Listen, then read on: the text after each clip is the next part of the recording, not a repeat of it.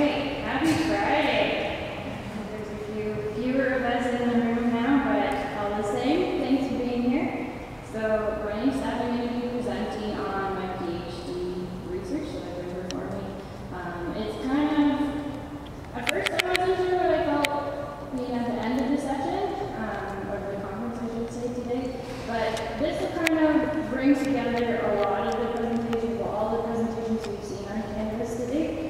it actually kind of builds off of the work that Dave just presented as well. Hopefully you will enjoy it.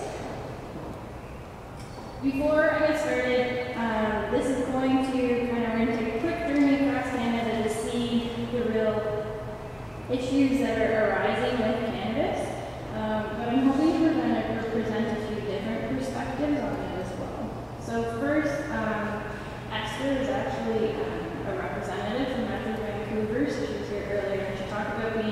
flooded with the amount of complaints. So based on this news article, in 2018, we received 225 complaints. That's a huge amount of odor complaints of something we haven't ever had to deal with.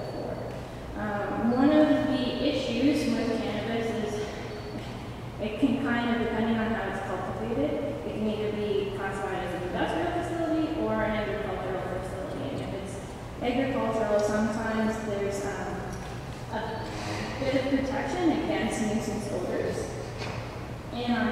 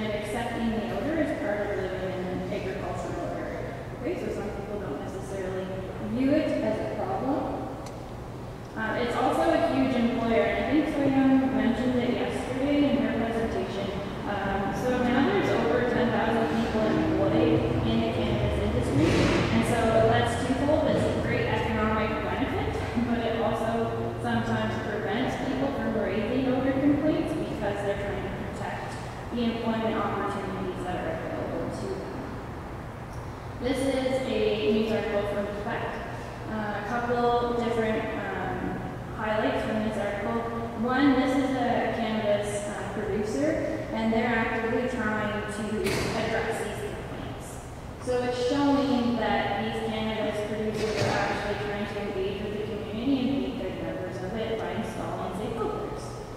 Um, the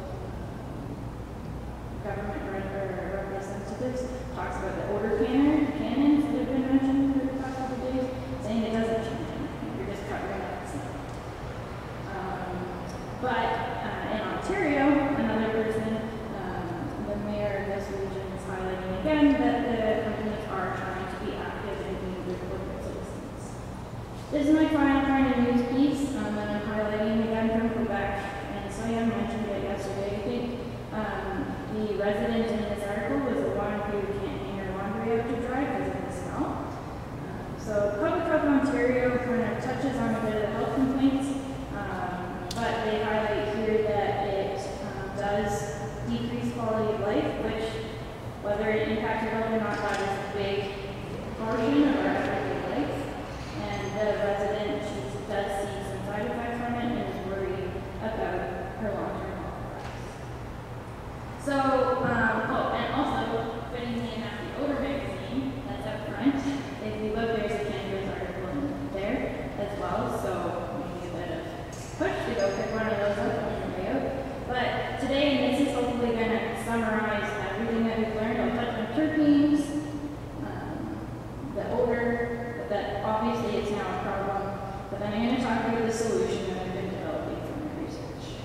screens, as we all know now. Forgive me for any repetition, but they are VOCs. Um, the interesting thing to note is it's not specific to cannabis plants, okay? Terpenes are present in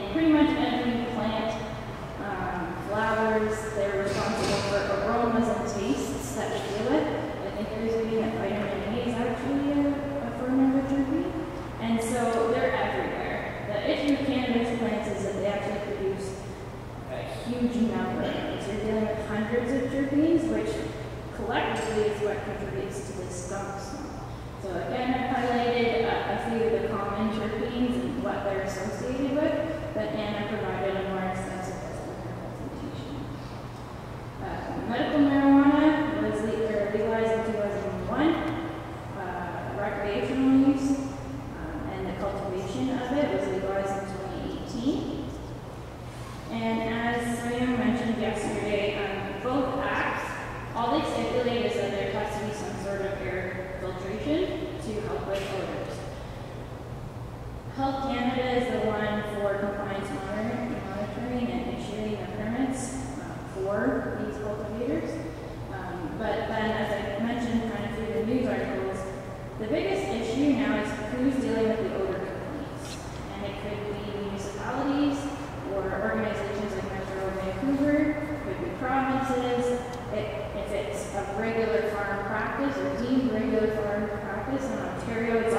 Thank you.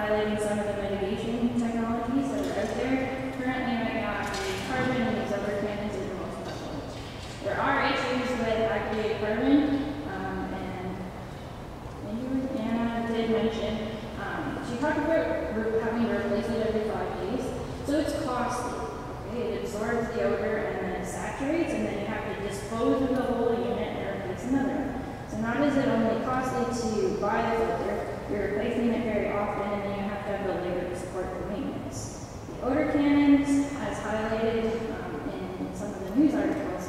They just mask this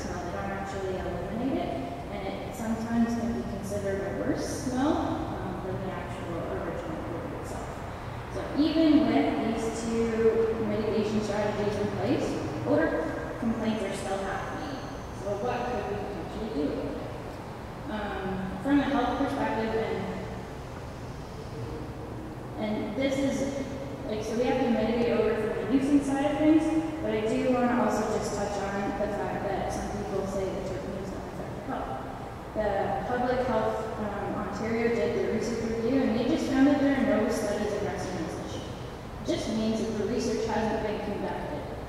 So there's actually no evidence to say, yes, they are okay for our health. And when Anna was talking about some of the odors, um, words associated with the smell, and talking about eye irritation, when people go into these drying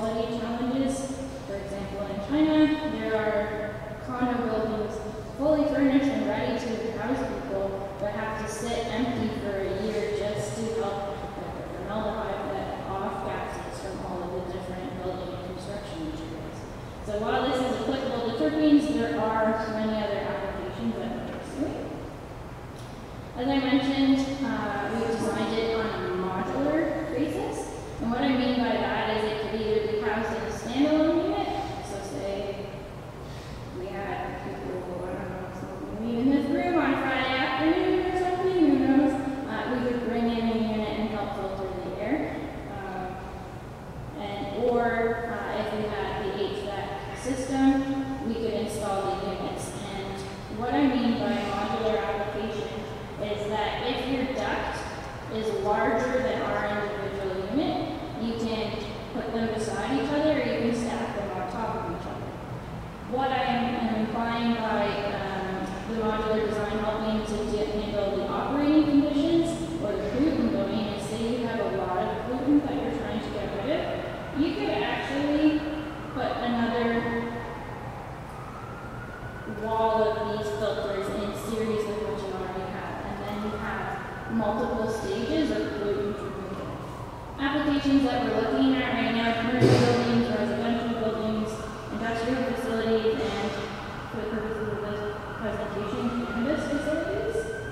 This is just kind of a, kind of a zoomed in picture of what's happening inside and what I'm talking about when I'm placing filters in series. So the gas comes in from the left-hand side, it reacts with one set of plates, and or react with the second set of plates, and then you have pollutants uh, in lower concentration on the outlet side. So why does this of matter? Um, I'm hoping it does.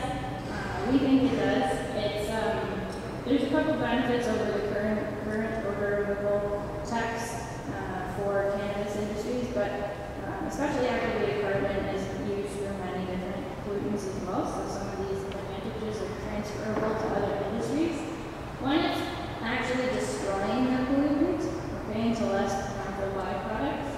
And it's an extended lifetime. So that means there's minimal labor and maintenance costs. We can replace components if need be, but they are designed to have an extended lifetime. And then we're also reducing waste. So we're not throwing out an activated carbon filter every five days. We're putting the system in. It's meant to be kind of like a set it and forget it of system. This is the prototype that we have in the lab and we have it designed. And so what you'll see here is each of these, I've got four blocks up there, represent kind of like a pollution control unit. So right now I'm seeing four in series. And so the gas comes in, it reacts, the lights are on in this visual. Uh, that's what the glowing is. And so the pollutant is actually being removed. And so then the gas coming out has a lower pollutant concentration. That's great, but then what's the efficiency? And um, Anna highlighted some of the removal efficiencies of uh, the different odor mitigation strategies in her report, or in her presentation, I should say.